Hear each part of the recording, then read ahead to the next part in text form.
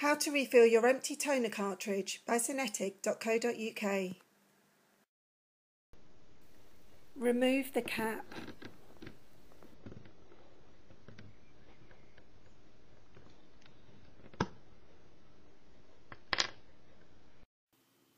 Empty the old toner into a sealable plastic bag. Refill your cartridge. Replace the cap.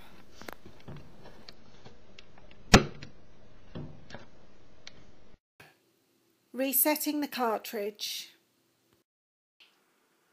Remove the screws. Remove the plastic cover. Reset the plastic gear into the correct position. Replace the plastic cover. Replace the screws. Your refill is now complete.